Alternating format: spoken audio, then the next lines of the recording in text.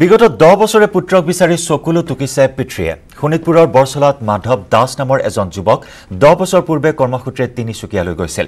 কিন্তু তাৰ পিছৰে পৰা নিখোজ হৈ পৰে যুৱকজন আৰু তেতিয়াৰে পৰা পৰিয়ালৰ লোকে মাধৱ দাসক বিচাৰি চলাত কৰিলে যদিও আজিও কোনো সুংসূত্ৰ নোলাল। নিখোজ পুত্ৰৰ কথা ভাবি আজিও চকুলো টুকিবলগীয়া হৈছে পৰিয়ালটোৱে। পিতৃ ভোলাৰাম দাসৰ কাটৰ আহ্বান মাধৱ দাস যদি ক'ৰবাত আছে ঘৰলৈ উভতি আহিবলৈ কাটৰ আহ্বান জনাইছে। এইগৰাকী যুৱক আজি দহ বছৰ পূৰ্বে কৰ্মৰ সন্ধানত তিনিচুকীয়ালৈ গৈছিল আৰু তাৰ পৰাই নিখোজ হৈ আছে এই যুৱকজন। কিন্তু তাৰ পিছৰে পৰা নিখোজ হৈ থকা যুৱকজনৰ পিতৃ মাতৃ বৰ্তমান উদ্বিগ্ন হৈ পৰিছে। পৰিয়ালৰ লোকে মাধৱক বিচাৰি চলাথ কৰিছে যদিও আজিও নোলাল কোনো সুংসূত্ৰ নিখোজ পুত্ৰৰ কথা ভাবি আজিও চকুলো টুকিবলগীয়া হৈছে পৰিয়ালটোৱে। পিতৃ ভোলাৰাম দাসৰ কাটৰ আহ্বান মাধৱ দাস যদি ক'ৰবাত আছে ঘৰলৈ উভতি আহক অতি শীঘ্ৰেই। এই কাটৰ আহ্বান জনাইছে এই দুৰ্ভগীয়া পিতৃগৰাকীয়ে হৰাইছে যে ল'ৰাটোৰ কাৰণে মানে আমি ইমান চিন্তাত আছি যে ক'ত আছে ক'ত নাই বুলি। কেতিয়া কেনেকুৱা হৰণ হৰালে মানে আজি দহ বছৰ হ'ল কামানি কৰিব গৈছিল তাৰ পৰাই হৰাই গ'ল। কোনোবাই দালালি ল'লে না কোনোবাই লৈ গ'লে এইটোৱেতো আৰু নাপাতা হ'লাম। কেইবাৰ গ'লোঁ নাপালোঁ তাক খুজিও নাপালোঁ। এই তিনিচুকীয়াত। পিছত? পিছত নাপালোঁ। মালিকে ক'লে যে গ'লে তোমাৰ ঘৰত গ'লে। নাই আমাৰ ঘৰতে নাই। ফোন মোবাইল নাই নেকি? ফোন তেতিয়া মোবাইল চোবাইল নাছিলে। পিছুৱাৰ দিন আছিলে? এতিয়া কলকাতাই আছে নেকি মই আৰু অলপমান সন্দেহ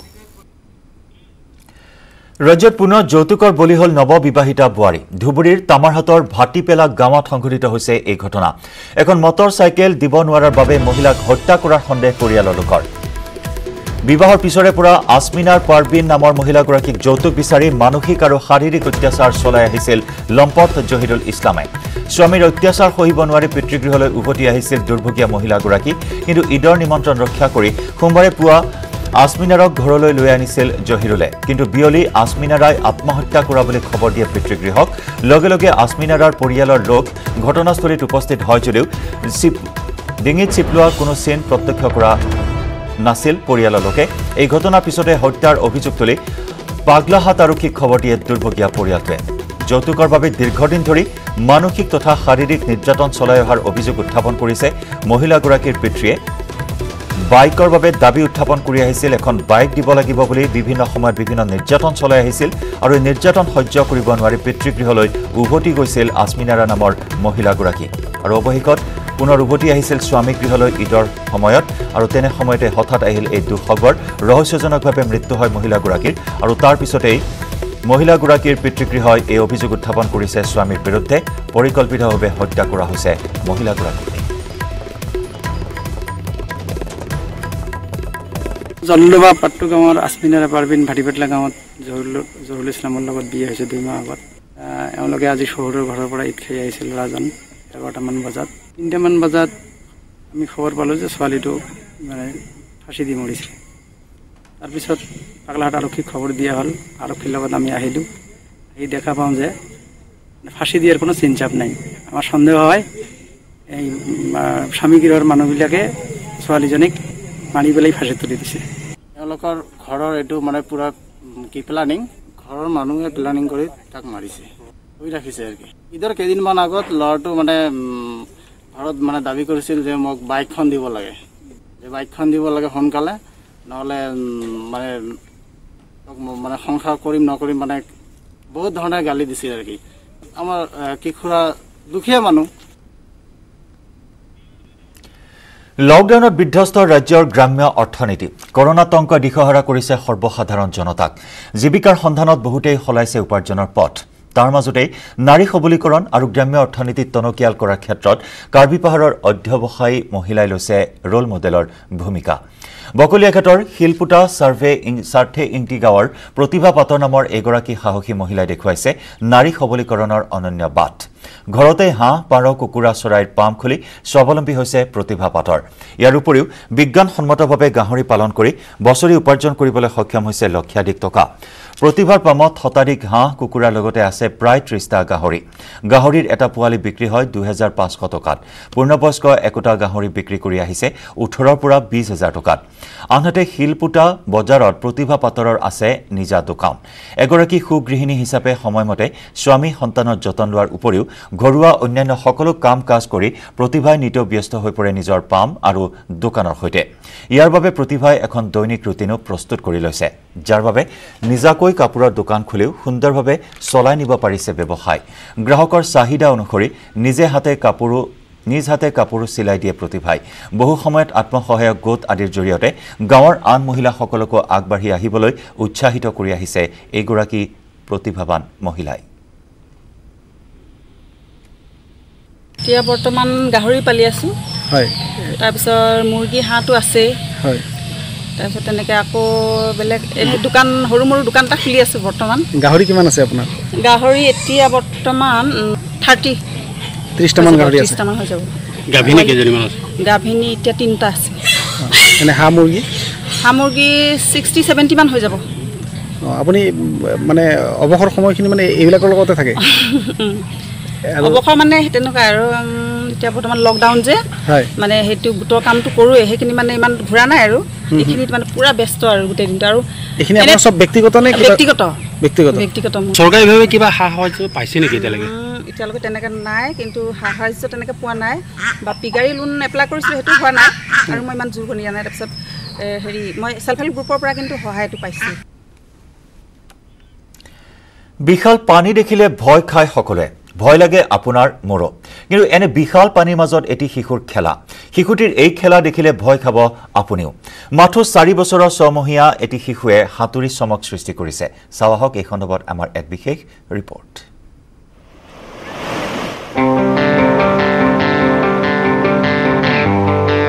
বিশাল পানী দেখিলে ভয় খায় সকলোৰে ভয় লাগে আপোনাৰ মোৰো কিন্তু এনে বিশাল পানীৰ মাজত এটি শিশুৰ খেলা। শিশুটিৰ এই খেলা দেখিলে ভয় খাব আপুনিও। মাথো চাৰি বছৰ ছমহীয়া এই শিশুটিয়ে সাঁতুৰি চমক সৃষ্টি কৰিছে।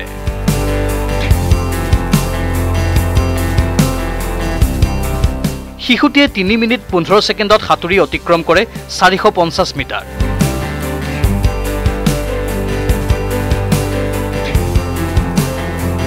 গহপুৰ ৰজাবাৰীৰ দুই নম্বৰ চকলা গাঁৱৰ জিলিকান্ত পেগু আৰু নিজুমণি পেগুৰ সন্তান প্ৰতাপ পেগু এওঁ কে জি টুত পঢ়ি থকা এই শিশুটিয়ে তিনি বছৰ বয়সৰ পৰাই খেলি ভাল পাইছিল পানী। সেই পিতৃয়ে শিকাইছিল সাঁতুৰিবলৈ। শিশুটিৰ দুঃসাহস দেখিলে শলাগিব সকলোৱে। প্ৰতিভা বিকাশৰ বাবে প্ৰতাপক এতিয়া প্ৰয়োজন উপযুক্ত প্ৰশিক্ষণৰ। তিনি বছৰৰ পৰাই সভ্যাস হৈছে। ময়ে নিজে শিকাই শিকাই চাৰি বছৰ হওঁ হওঁ সময়তে সম্পূৰ্ণ আঁতৰিব পৰা হৈছে। তেওঁৰ প্ৰতিভাখিনি দেখুৱাবলৈ অসম চৰকাৰে এটা সুযোগ প্ৰদান কৰে। মই আশাবাদী পৰৱৰ্তী সময়ত ল'ৰাজনে অসম তথা ভাৰতৰ হৈ সমগ্ৰ বিশ্বত প্ৰতিনিধিত্ব কৰিব বুলি আশা কৰিছোঁ।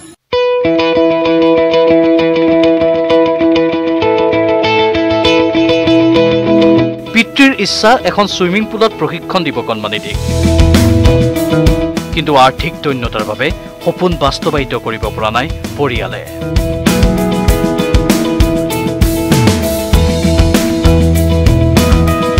গহপুৰৰ পৰা Palash Phukan news eighteen Assam north east.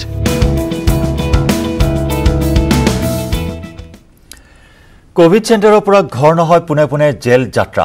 এই আজব কাণ্ড ত্ৰিপুৰাত। কভিড চেণ্টাৰত অসভ্যালি কৰা ছজনকৈ লোকক হাস্পতাল কৰ্তৃপক্ষই আৰক্ষীৰ হাতত চমজাই দিয়ে। এই কভিড আক্ৰান্ত ৰোগীসকলে চিকিৎসালয়ত দুৰ্ব্যৱহাৰ কৰাৰ অভিযোগ উত্থাপিত হৈছে। চিকিৎসালয়ত চিকিৎসকক দুৰ্ব্যৱহাৰ কৰাই নহয় চৰকাৰী কাম কাজতো বাধাৰ সৃষ্টি কৰি আহিছিল। এই ছজন ৰোগীৰ চাৰিজন Bhagat Singh youth hostel covid চেণ্টাৰৰ আৰু দুজন হাপানীয়া কভিড চেণ্টাৰত চিকিৎসাধীন হৈ আছিল। মঙলবাৰে চিকিৎসালয়খনৰ চিকিৎসকক দুৰ্ব্যৱহাৰ কৰা বুলি অভিযোগ উত্থাপন কৰি লোককেইজনক অব্যাহতি দি আৰক্ষী থানাত চমজাই দিয়া হয়।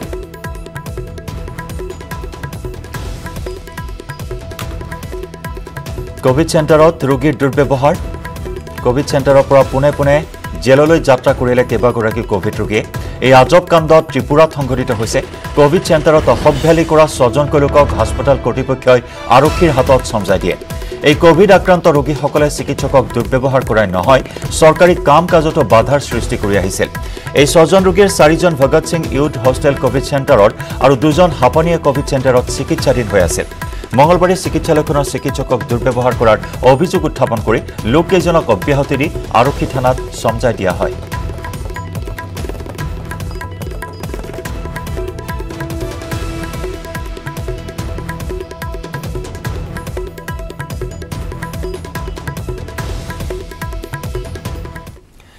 মহানগৰীৰ সমীপৱৰ্তী পানীখাইটিত সংঘটিত হৈছে ভয়ংকৰ অগ্নিকাণ্ড। জুইত সম্পূৰ্ণৰূপে ভস্মীভূত হৈছে দুটাকৈ উদ্যোগৰ কেইবা কোটি টকাৰ সা সামগ্ৰীৰ লগতে উৎপাদিত সামগ্ৰীও।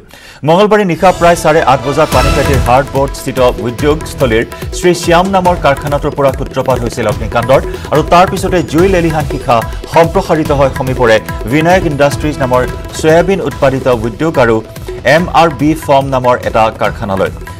স্থানীয় ৰাইজে জুই লেলিহান শিখা প্ৰত্যক্ষ কৰি পানীখাইটি আৰক্ষী চকীৰ লগতে চন্দ্ৰপুৰ অগ্নি নিৰ্বাপক বাহিনীক খবৰ দিয়ে। লগে লগে আৰক্ষী আৰু অগ্নি নিৰ্বাপক বাহিনীৰ লোক ঘটনাস্থলীত উপস্থিত হৈ জুই নিৰ্বাপনৰ চেষ্টা চলাই যদিও জুইৰ ভয়াৱহতা ইমানেই অধিক আছিল যে ইমানেই তীব্ৰতৰ আছিল যে চন্দ্ৰপুৰৰ অগ্নি নিৰ্বাপক বাহিনীৰ দুখনকৈ বাহনে জুই নিৰ্বাপন কৰিবলৈ সক্ষম নহল।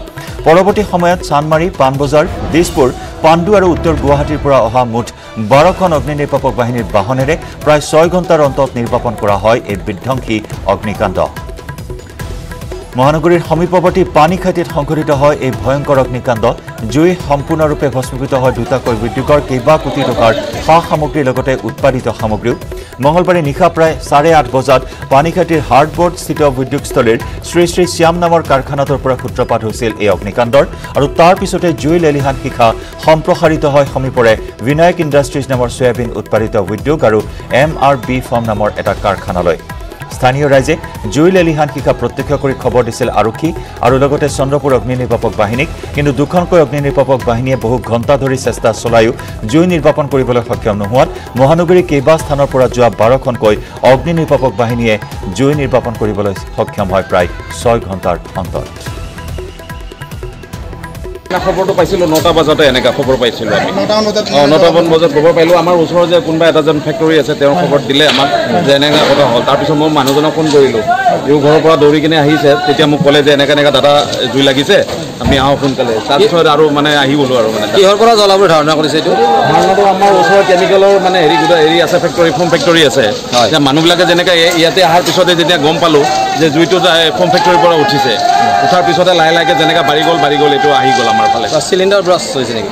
চিলিণ্ডাৰ বাছ ব্ৰাছ এতিয়া ক'ব নোৱাৰোঁ বস্তুটো কি মই বেছি দেৰি হোৱা নাই এতিয়ালৈকে আমি চায়ে আছোঁ কি হ'ল কি নাই। ফেক্টৰী কেইটাৰ নাম কি আছিলে? বিনায়ক ইণ্ডাষ্ট্ৰিজ উৎকট গৰমে দহিছে ৰাজ্যবাসীক। বিগত তিনিদিন ধৰি অব্যাহত আছে প্ৰচণ্ড গৰম। বিগত তিনিদিনত সৰ্বাধিক আঠত্ৰিছ ডিগ্ৰীলৈ উঠিছে পাৰাস্তম্ভ। অৱশ্যে আজিৰ পৰা অসম তথা মেঘালয়ৰ কিছু কিছু ঠাইত ধাৰাসাৰ বৰষুণ অহাৰ সম্ভাৱনা। এই আগজাননী বৰ্জাৰস্থিত আঞ্চলিক বতৰ বিজ্ঞান কেন্দ্ৰৰ। বংগ উপকূলৰ সাগৰ পৃষ্ঠৰ পৰা সাত কিলোমিটাৰ বেগত উৎপত্তি হোৱা বতাহৰ ফলত বৰষুণৰ প্ৰভাৱ পৰিব অসম তথা উত্তৰ পূৰ্বাঞ্চলৰ কিছু কিছু ঠাইত। গুৱাহাটী মহানগৰীত আজি আকাশ মেঘাচ্ছন্ন হৈ থকাৰ লগতে কিছু পৰিমাণে পাতলীয়া বৰষুণ অহাৰো সম্ভাৱনা আছে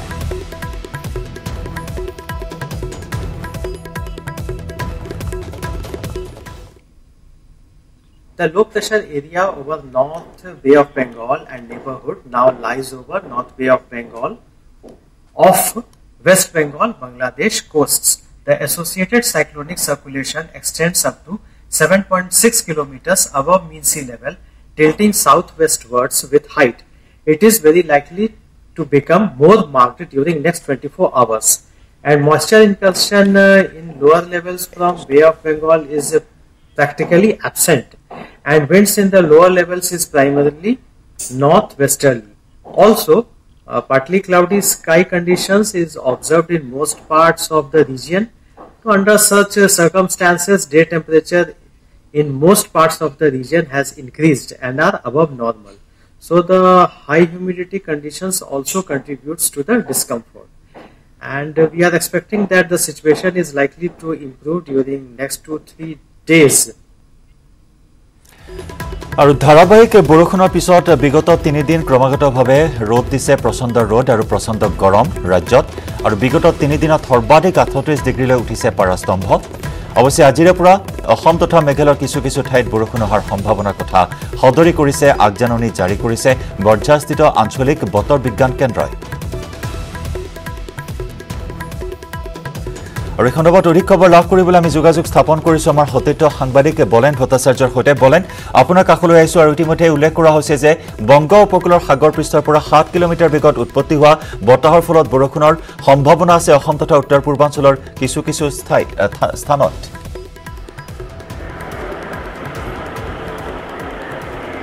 হয় বতৰ বিজ্ঞান কেন্দ্ৰৰ তৰফৰ পৰা জনাইছে সেই কথা। আৰু দেখিব পোৱা গৈছে শেহতীয়া তিনিদিনত উৎকট গৰমে দহিছে সমগ্ৰ ৰাজ্যৰ লগতে গুৱাহাটী মহানগৰ।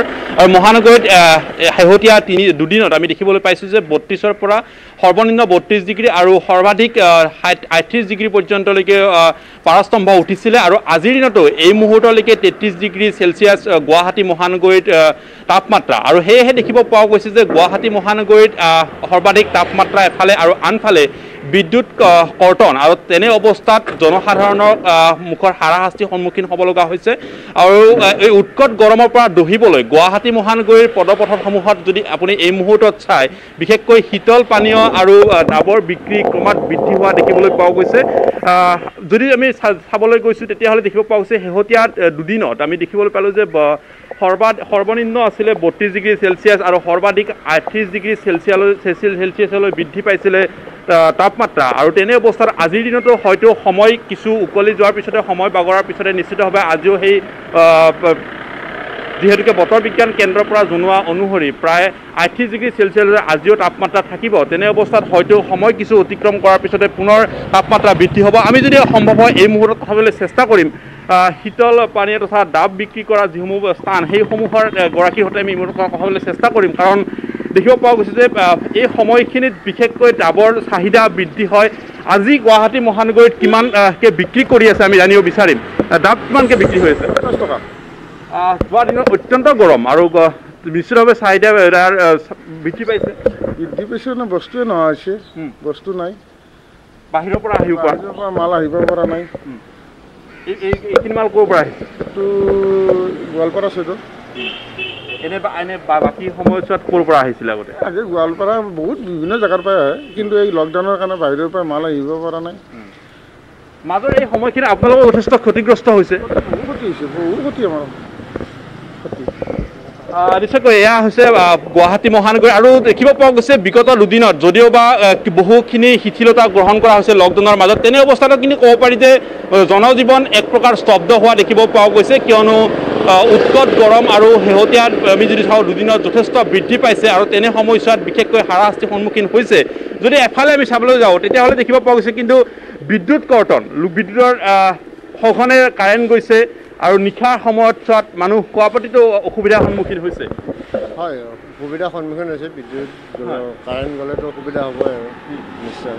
আৰু বেছিকৈ সঘনে এইখিনি সময়ত যি কোৱা হৈছিলে যে বিদ্যুৎ বিভাগৰ তৰফৰ পৰা যে যিখিনি প্ৰাইম টাইম বা চৈধ্যশ মেগাৱাট বিদ্যুৎ প্ৰয়োজন তেনে সময়ছোৱাত কিন্তু সেই যি ধৰণৰ অসমত যিজনৰ বিদ্যুতৰ যোগান তাতকৈ যথেষ্ট কম যোগান হৈ আছে আৰু যাৰ কাৰণে দেখিব পোৱা গৈছে যে ঠায়ে ঠায়ে যথেষ্ট বিদ্যুৎ কৰ্তন হৈ আছে আৰু তেনে অৱস্থাত জনসাধাৰণ হাৰাশাস্তিৰ সন্মুখীন হৈ আহিছে।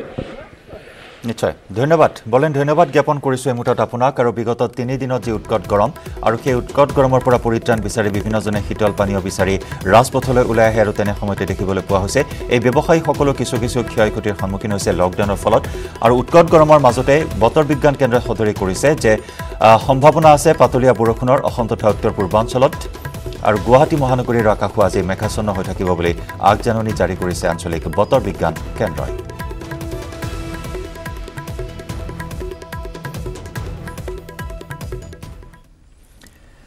বিশ্বনাথৰ কভিড ৱাৰ্ডৰ ভাইৰেল অডিঅ' কভিড ৱাৰ্ডত চিকিৎসক নাৰ্ছ অবিহনে সন্তান প্ৰসৱ। প্ৰসৱৰ পিছতে বিছ মিনিট ধৰি তেজেৰে লুতুৰি পুতুৰি হৈ পৰি থাকিল নৱজাতক। পি পি কিট পিন্ধা নাৰ্ছে নৱজাতকক খোৱালে কভিড পজিটিভৰ বিচনাত দিকৰাইৰ এগৰাকী কভিড পজিটিভ প্ৰসূতিয়ে জন্ম দিলে এ সন্তান। প্ৰসৱ বেদনাত চট ফটাই থকাৰ পিছতো নাহিল চিকিৎসক নাৰ্ছ। কভিড ৱাৰ্ডত জন্ম নৱজাতকৰ নহ'ল চুৱাব টেষ্ট। কভিড আক্ৰান্ত হৈ মৃত্যু হোৱা লোকেশ্বৰ বৰাৰ জীয়ৰীৰ ভাইৰেল ভিডিঅ' ভাইৰেল অডিঅ' আমি আপোনালোকক শুনাম। যুৱতীগৰাকীৰ কভিড পজিটিভ হৈ চিকিৎসাধীন হৈ আছিল। লোকেশ্বৰ বৰাৰ মৃত্যুটো চিকিৎসাৰ গাফিলতিৰ অভিযোগ উত্থাপিত হৈছে। স্বাস্থ্য বিভাগে আই চি ইউ যোগান ধৰিব নোৱাৰাৰ বাবেই মৃত্যুৰ অভিযোগ উত্থাপিত হৈছে।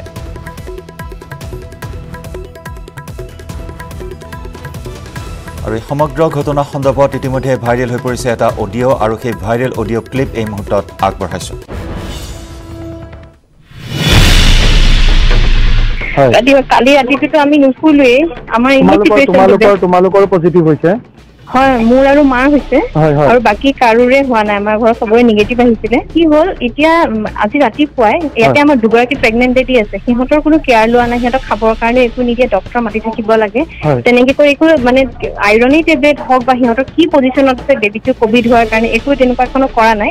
তাৰপিছত আজি তাৰে এগৰাকী কি হৈ গ'ল ৰাতিপুৱা ছিক্স থাৰ্টি মানত six thirty six thirty five এনেকুৱা মানতে কি হৈছে বাচ্ছাটো।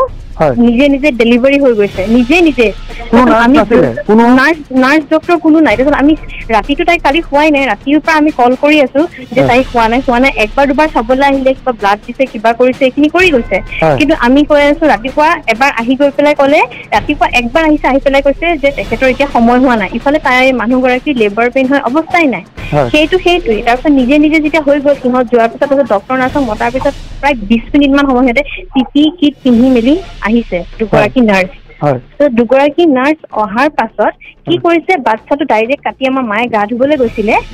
এতিয়া বাচ্ছাটোতো তেজেৰে লুটি পুটি এতিয়ালৈকে বাচ্ছাটো চাফাই কৰা নাই। ত' তেনেকে তেজেৰে লুতুৰি পুতুৰি কৰি পেলাই কি কৰিছে আমাৰ মাৰ বেদতে পেলাই দিছে।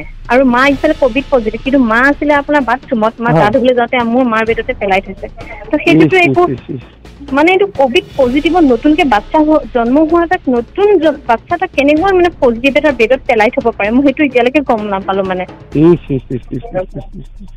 একো ট্ৰিটমেণ্ট কিন্তু ইয়াত তেওঁলোকে পোৱা নাই দেই এতিয়ালৈকে। আৰু আৰু এগৰাকী প্ৰেগনেণ্ট লেডি আছে তেখেতৰো একো তেনেকুৱা ধৰণৰ ট্ৰিটমেণ্ট হোৱা নাই। আৰু ইফালে চুগাৰ পেচেণ্টো আছে সিহঁতৰ চুগাৰ টুগাৰো নোজোখে। আমাৰ ব্লাড ল'লে ব্লাডৰ ৰিপৰ্ট আমাক এতিয়ালৈকে দিয়া নাই। ব্লাড আমাৰ অহাৰ তিনদিন নে দুদিন পাছতে আমাৰ লৈছে। দেউতা যেতিয়া তোমাৰ দেউতা এডমিট আছিলে দেউতা যে ঢুকাল কালি দেউতাই অ, অ। ট্ৰিটমেণ্ট বিলাক পাইছিলে নে নাই ভালকে? দেউতাই দেউতাৰ কি মানে?